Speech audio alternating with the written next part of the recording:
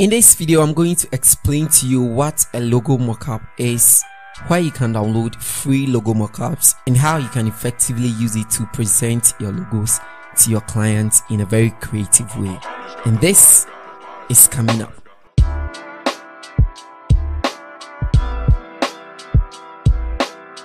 Hey everybody, it's Innocent here. Welcome to the channel. If you're new here, please hit on the subscribe button. If you're old here, Thank you so much for showing up. Before we start, I want to sound this word of caution that this is not a step-by-step logo process design. The logo has already been created. We're going to look at how you can actually download mockups and how you can present it to your client. So first off, what is a mockup? According to the dictionary, a mockup is a replica of a machine or a structure that you can use for instructional or experimental purpose.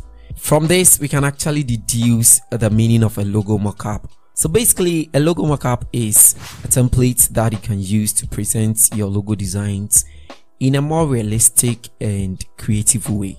So this is what I mean. Most logos, for instance, this one right here, are designed on a 2D flat surfaces. So we can see that this particular logo is the finished logo. It is flat. This is how I'm going to actually send it to the client. But then with the help of a mockup, I'm actually going to be able to explain to the client that this is how it is actually going to look like when you have it on a business card. This is how it is going to look like when you have it on a billboard. So in actual sense, you are telling the client that this is how your logo is going to look like when you place it on object or when you place it on something like a t-shirt and then it is printed out. In this way, you're going to give the client the impression that the logo is going to do good or look good in the real world instead of looking very flat and boring. Now, with that said, we can conclude therefore that a mock-up logo is not the same as the logo. The logo is different from the mock-up in the sense that the mock-up logo isn't equal to the same logo. You actually appreciate this when you start using the mock-ups very soon. So this is the flat logo and something like this it's going to be like a mock-up and then you see from here that I have this particular mug that the logo has been presented on it so this is going to give the client an impression that this is how your logo is going to look like when it is on a Mac. Now, how do you download and get free mockups or paid mockups? There are lots of free websites and premium websites that I'm going to leave links in the description in case you want to check any of them and download some free mockups. The first one is Freepik and Freepik is one of the most used resources personally. A quick search like a logo mockup here, it is going to give you like free things, free mockups like this. And then you can see that from the filters, we have the PSD, we have the free vector, the free here, and then the premium. So some of them, these ones are premium. You can't download them unless you pay for it and there are free ones that you can actually download like this one so for instance this particular modern hang or this hang sign here is going to send a message to your clients that this is how your logo is going to look like when it is on a sign or like it is hanged on a sign. And this particular one that is the 3d modern facade sign is going to show your clients how the logo is going to look like especially when it is a test logo. With that said you can use these amazing filters here to search so something like psd that is we need only the psd logo something like one that I've downloaded over here, this particular one. So it is going to download in a PSD form that you can easily edit it and place your logos. This can save you a lot of time unless otherwise you want to create it yourself step by step and use it over time. So you can download free mockups from Freepik. And then the next website that we'll be looking at is mockuptree.com forward slash free. So you're going to download these free mockups. I'll leave links in the description in case you want to check any of them. So check this particular one here, the 3D logo mockup this is a brilliant idea to present your logo to your clients that hey this is how your mockup is going to look like when you have it on your office glass isn't that a brilliant idea so the last one and of course all the other links will be in the description i'll leave a lot of them is dailymockup.com and even a quick search like logo mockup on Google, it's actually going to display a lot of mockups. But the disadvantage of this one is that most of these ones are images. You download them and later on you realize that it is an image. You can't actually use it. Instead of getting you like a PSD where you can easily manipulate it, they give you a JPEG that you can't edit it. So you can actually use some of the free websites that I'll leave in the description if you want to get the PSD type of mockups. Now let's get into Photoshop and see how after downloading it you can actually use it. Most of it are not mockups when downloaded are in the zip form so you're going to need either a WinRAR to actually open this one up. So you can open your downloaded mockup so in a zip form so you can actually open it from here and then you can actually see the video that I made step by step on how to actually use mockup in general. This has been limited to logo mockups but then in that video I explain a lot more on mockups so you can extract this particular PSD so you can see that the PNG files has been added to it as well as the PSD logo. We are interested in a PSD logo. So you can extract it to any destination of your choice. And that is where I actually extracted the coffee mug mockup here. So let's get into Photoshop. Now here in Photoshop, mostly the mockup is in a smart object and mostly they write on it. So it says edit me here. You can actually open this one. So when you double click on the smart object, it is going to open up a smart object that you can place your logo straight here without having to do anything. So I've already designed a logo. Let me just go and bring this one here. So this is the logo PNG 2. You drag it into Photoshop like that and then you can leave it here. Now, as far as possible, should try to make your logo in the same size with the original logo design because that is the only way it can actually fit just like you saw it in what you downloaded. So you can open up your logo like that and then from there you can easily turn off the first one. So you can turn off this one and now you have only your logo available there. So from there, you just head over to this sign here and then you close it up and then you press yes or you click on yes.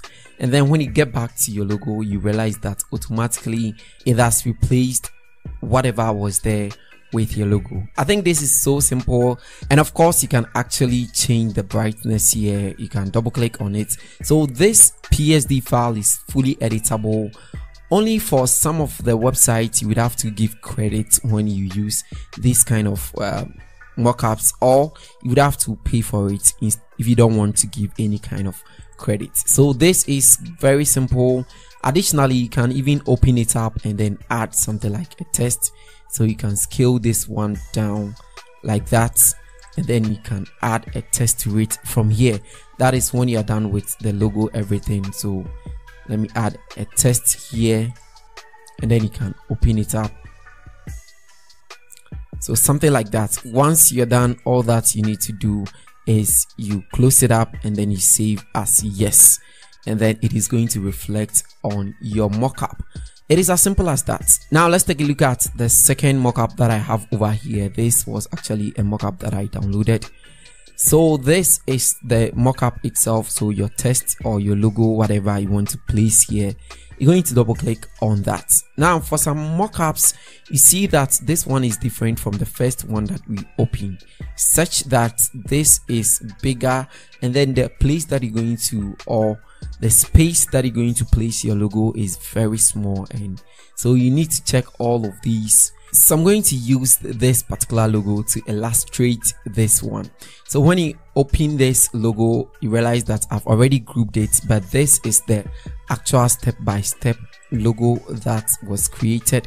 And then you realize that this one has a background, but the mock-up logo that I have over here doesn't actually, this is actually a logo I designed, but this one doesn't have a background. So what you do is you're going to make sure that the logo that you're bringing in is transparent. That is, it is in a PNG form. So you're going to turn off the background so that you can get the transparency and then you can use the shortcut control shift alt and then e to merge it all up and you can have it as a single one like this so you see that this one you can move it to your mockup without any hesitation. And then you take your time press ctrl t to transform this one out like that. Now note something here. This particular logo contains a heart that is white. You actually leave it like that. But when you save it so let's go to save and then you save it. And then let's go to the prime trains mockup here. Okay we actually forgot to turn on the other one. So let's open that one turn off this one and let's save it. So this is how it looks like. The hat part isn't showing. Why? Because let's open again.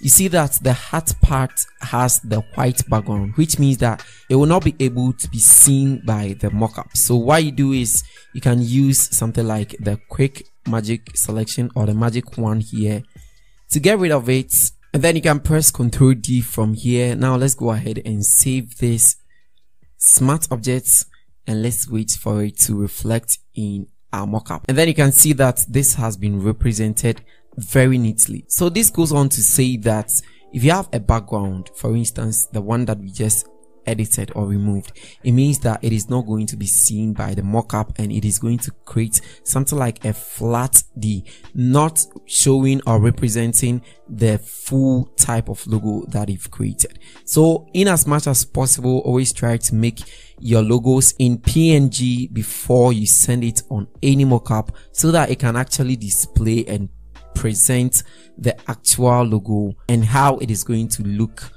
on the mockup let's take a last example here. This is the another logo mockup that you can download. I'll leave all the links in the description in case you want to download any of these.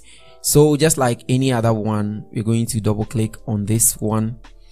And then you see that this particular mockup has the reflection. It is the reflection type of mockup right? So instead of the first ones that we used any logo or any text that you want to bring in this one it would have to be reflected so that I can actually see it from the perspective that you are you, you want it. Now this is what I mean. Let's turn this one off choose our text tool and then we're going to write something like Innografix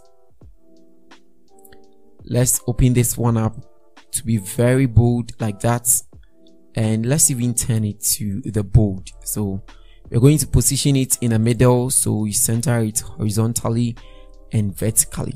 Now when you move ahead and then you close this one you are actually expecting a straight Innografix like that. But let's see.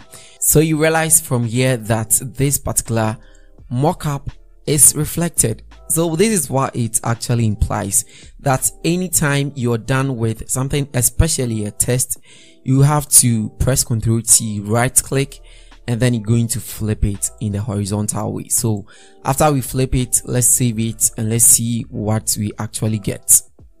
So now it actually shows the exact type that we want. You can actually go ahead and then you add something like let's say a circle. So i'm going to draw a circle here and i'm going to position it in the middle like that. I'm going to change the color to white and I'm going to right click and rasterize the layer. Now I'm going to pick my rectangular marquee tool and I'm going to cut off the parts that I want the text to display. So the text here and I'm going to delete it on the ellipse. So I'll press Ctrl D and then let's save this one and see how it actually reflects on the mockup. And there you have it, a very simple logo. I think this this was like a very simple illustration to how you can easily make a very simple logo in photoshop. What do you think? So this is how you actually represent your logo on a mockup. Very simple and very very efficient. And finally it is not only the mockup that you can actually tamper on. You can actually temper on the lights the shades how you actually want it. You can edit this ones that is mostly for the free type of mockups but most of them that requires attributes if you tamper on any of these you would have to actually give credit. So if you buy it for the premium ones you can actually do anything that you want to do with you can actually change the background or even change the color of the background using the hue and saturation here so how your mockup should actually look like depends totally on you and then you can use this to like i said in the beginning explain to your clients or present it to your clients that this is how your mockup is going to I think in this illustration, the one that resonates with the real world thing is the mark over here. So how Innografix logo is going to look like on a mark. Now, if this is something that you really want to see it come through, you can actually support the channel. I'll leave a link in the description so that we can make this come to life. And that's it. The final thought the mockup is not the actual logo it is just a way to present your logos to your clients so you don't actually design your logo and you have it in the flat 2d like this and then you actually send this one to your client as the logo it is not done anywhere please don't do that thank you so much for sticking around to watch this video let me know in the comment section if this was in any way helpful to you and if you want to see more of such videos and especially on logo designs. Thank you so much and I'll see you guys in the next one. It's Innocent here and bye.